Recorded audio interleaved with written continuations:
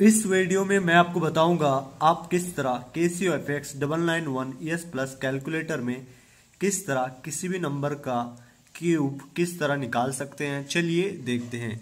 तो आपको यहाँ पर दिखाई दे रहा होगा क्यूब एक्स क्यूब क्यूब निकालने के लिए आपको सबसे पहले शिफ्ट का बटन दबाना है। फिर आपको वो बटन दबाना है जहाँ पर क्यूब दिखाई देगा आपको। यहाँ पर दिखाई दे रहा है एक्स क्यूब ये बटन दबा देना है। और अब आपको वो नंबर इंटर करना है जिसका आप क्यूब निकालना चाहते हैं। और उसके बाद आपको इक्वल का बटन दबा देना है। इस तरह आप किसी भी नंबर का क्यूब निकाल सकते हैं कैलसी में।